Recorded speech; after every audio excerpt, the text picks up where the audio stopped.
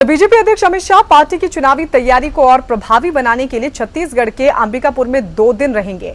Road show कर सरगुजा संभाग में बीजेपी के लिए मज़बूत स्थिति तैयार करने की कोशिश करेंगे। अमित शाह का अंबिकापुर में रोड शो करना बेहद महत्वपूर्ण माना जा रहा है, क्योंकि वर्तमान विधानसभा में सरगुजा संभाग में बीजेपी और कांग्रेस सात सात सीटों के साथ बराबरी पर है। नेता प्रतिपक्ष टीएस सिंहदेव का गढ़ होने के कारण कांग्रेस ने वहाँ पहले से ताल ठोक रखी है। और ऐसे में अमित शाह के रोड शो और मुख्यमंत्री की विकास यात्रा दोनों को जोड़कर बीजेपी वहाँ राजनीतिक संदेश देने की रणनीति पर काम कर रही है।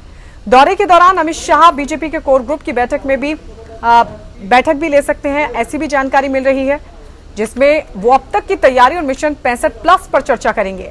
शाह का विमान सुबह ग्यारह बजकर पैंतालीस मिनट पर अंबिकापुर के दरिमा विमान पट्टी पर उतरेगा। यहाँ स्वागत के बाद शाह दोपहर 12 से 2 बजे तक मुख्यमंत्री के साथ विकास यात्रा के रोड शो और आम सभा में शामिल होंगे। शाह 11 जून को सुबह साढ़े आठ बजे दिल्ली के लिए रवाना होंगे।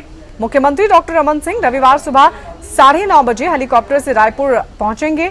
सीएम 11 जून को जसपुर दौरे के बाद 12 जून को राजधानी लौटेंगे। बीजेपी की चुनावी तैयारी को और आगे बढ़ाने के लिए प्रधानमंत्री मोदी 14 जून को भिलाई आ रहे हैं। वो भिलाई स्टील प्लांट के एक्सपेंशन का शुभारंभ करेंगे। मोदी कार से भिलाई स्टील प्लांट देखेंगे और एक्सपेंशन यूनिट का भी लेंगे जायजा।